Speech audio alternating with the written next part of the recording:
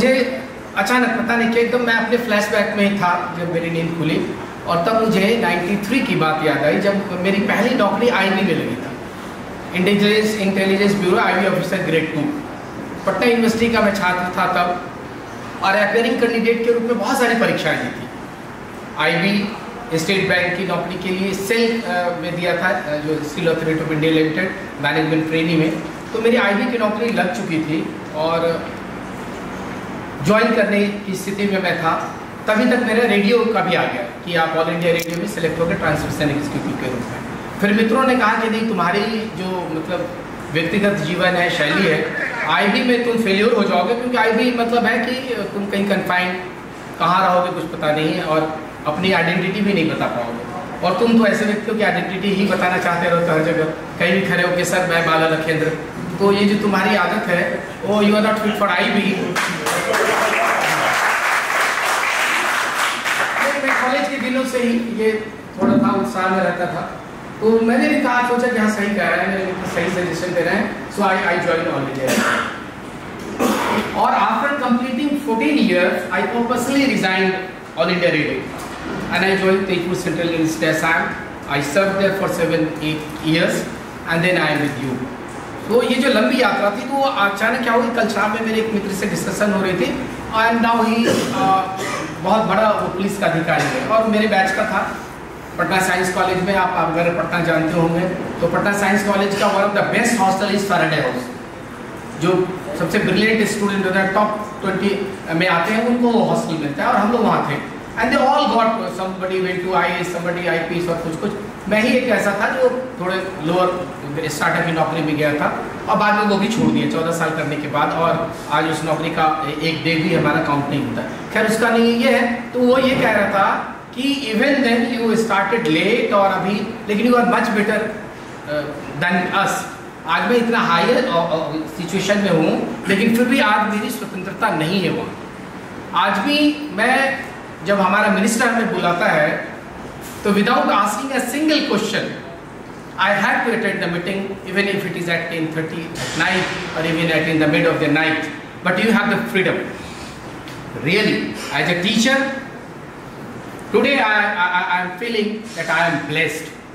I can take my decision and even the UGC have given uh, uh, the professor Sisir Basu and so many people they, they, they, are the part of the committee so they uh, gave the freedom to the teachers not only to Banaras University all the teachers of all over India that even they can design their own curriculum according to their need of the, uh, the, the topic and according to the need of the subject.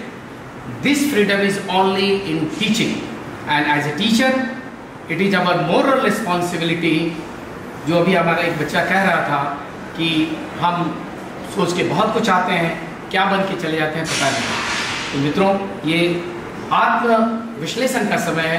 मैं अक्सर बात करता हूँ आज़ादी के 75 वर्ष की बात अभी मैं आपको बताऊँ कि अभी मिनिस्ट्री ऑफ़ यूथ अफेयर्स ने कमेटी का गठन किया है। विशेष कमेटी बनाई गई है। देश के कुछ कार्यक्रम संबंध में उसमें लाए गए हैं। उन्हें लगभग 100 से 150 वीडियो हर दिन भेजा जाता है और उस वीडियो को दे, देखने के बाद आपको अपनी टिप्पणी भेजनी है।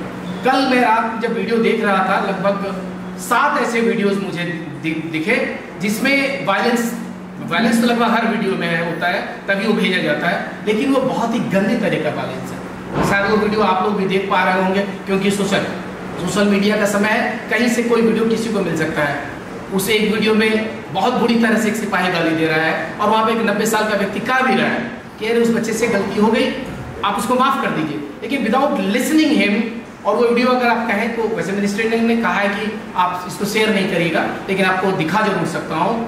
The man who is telling abusive language using abusive language it is so bad so pathetic आज़ादी के 75 वर्ष बाद जहाँ आज हम खड़े हैं, अगर हम ऐसे प्रशासन के साथ, बिहार में जिस तरह की घटनाएँ हो रही, मैं किसी पार्टी पॉलिटिक्स की बात नहीं कर रहा। आप वो वीडियो शायद बहुत सारे बच्चों ने देखा होगा, जिसमें एक बच्चा अपने हाथ में वो तिरंगा लिया हुआ है और फिर भी एक एडीएम सीटी से बुरी तरह पीटे जा रहा है। हाल में और भी बहुत सारी घटनाएँ हैं। मित्रों, ये समय है जब हमें आत्मचिंतन करने की आवश्यकता है। खासतौर से मैं अपने पीएचडी के विद्यार्थियों को ज़रूर निवेदन करना चाहूँगा कि आप डर के कारण प्लीज़ आप फिर से मैं बता रहा हूँ, आप डर के कारण कि बाला सर या बसु सर या अनुराग सर या धीरेन्द्र सर या मैडम, नेहा मैडम या ये ये हमारे सिनॉप्सिस को पास नहीं करेंगे तो आप उनका नाम अपने गुरु से कटवा के किसी ऐसे टीचर के साथ अपना सिनॉप्सिस प्रूव करा लीजिए। It is fine but you are just making yourself foolish you are making yourself fool क्योंकि आप उससे कुछ नहीं सीखेंगे। इस विभाग में नहीं, यहाँ विश्वविद्यालय के कई विभागों में ऐसा हो रहा है कि जो टीचर उनका सिनॉप्सिस पास नहीं करते हैं या उस सिनॉप्सिस पर कोई प्रश्न चिन्ह खड़ा करते हैं, अगली बार पता चलता है कि वो व्यक्ति आरपीसी में ही नहीं होता है। This is a bad habit bad practice मैं आपको दिल के कोने से कह रहा हूँ। जब मैं यहाँ पी का विद्यार्थी होने जा रहा था, बहुत सारे लोगों ने कहा, किसी मुझे खास टीचर के बारे में, कि आप उनके साथ पी एच डी सात साल में करेंगे। मैंने कहा, मैं तो भी उन्हीं के साथ करूँगा। And I join him unfortunately I left this university to join Tezpur university and with this foundation only whatever I learn with him I completed my P H D there in two and half years only but that was due to the particular profession I and he ये बहुत critical है, लेकिन सच्चाई यही है कि वो आपको आईना दिखाते हैं। वो बताते हैं कि कमी क्या है आपके थीसिस में? कमी क्या है आपके सिनॉप्सिस में? क्वेश्चंस नहीं है उसमें, या जो भी। इसलिए आप मेरा सिर्फ़ और सिर्फ़ as a teacher as a senior क्योंकि मैं भी इसी, इस विश्वविद्यालय का विद्यार्थी रहा हूँ, और फॉर्चुनेटली मैं यहाँ के एम ए फ़र्स्ट सेमेस्टर का एम ए का जो पहला बैच निकला, उसका I am the first batch student तो कई बार मुझे बहुत खुशी होती है कि 2002 के बाद professor Basu doctor Anurag Dave madam Nadike ने जो पौधा यहाँ लगाया बिरबा लगाया, वो आज बढ़ रहा है और इतने वर्षों के बाद इतने सारे बच्चे, इतने सारे कोर्सेज के साथ हम आगे उस समय सिर्फ़ हमारा एक कोर्स था एम ए मास कम्युनिकेशन आज हमारे एम मास कम्युनिकेशन है एम कॉर्पोरेट कम्युनिकेशन है PG diploma in Hindi journalism PG diploma in journalism health communication अपनी पाँच साल तक हमने चलाया। तो ये एक छोटी बात नहीं, बहुत बड़ी बात है। मित्रों, मेरा बहुत विनम्र अनुरोध है, अगर आपको लग रहा है कि आपको कुछ दिक्कत है, आप साफ़ बात करिए। कि सर मैं इससे ज़्यादा समय नहीं दे सकता हूँ प्लीज़ मेरा कर दीजिए। कर देंगे आरपीसी में कोई आप लेकिन ये कभी मत करिए कि आरपीसी में अच्छा उसने ऐसा किया चलो next time with this word I appreciate your efforts and I I salute you all अभी आपके नए नए कुछ बच्चे आए हैं और मैं देख रहा हूँ उनमें जिस तरह के जज्बात हैं जिस तरह के हुनर हैं उनको किसी ने बत, नहीं बताया कि कैमरा लेके आप जाइए और शूट करिए और उस चीज़ों को आप वेबसाइट पर अपलोड करिए सोशल मीडिया में आइए। लेकिन आज काशी हिंदू विश्वविद्यालय का ये जो डिपार्टमेंट है जर्नलिज्म एंड मास कम्युनिकेशन आगे बढ़ रहा है।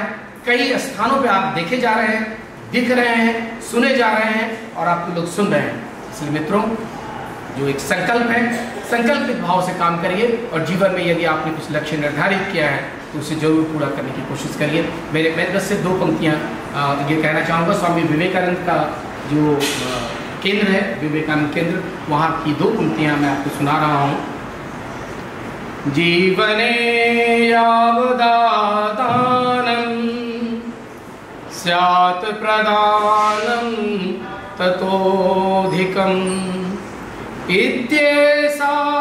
प्रार्थना अस्माकं भगवन् परिपूर्यता वहाँ के सन्यासी सुबह के यही प्रार्थना करते हैं कि हे ईश्वर जीवन में मुझे जितना मिला है, जीवन याव दानम जितना मुझे मिला है, मैं उससे कुछ ज़्यादा दान करके इस धराधाम से जाऊँ। हे ईश्वर, मुझे इतना ही आशीर्वाद दीजिए। हे ईश्वर, मुझे इतना ही आशीर्वाद दीजिए। आप सभी आचार्यों को प्रणाम करता हूँ। आप सब के अंतर मन में जो ईश्वर साक्षात विद्यमान है, उन्हें भी प्रणाम करता हूँ। बहुत बहुत धन्यवाद।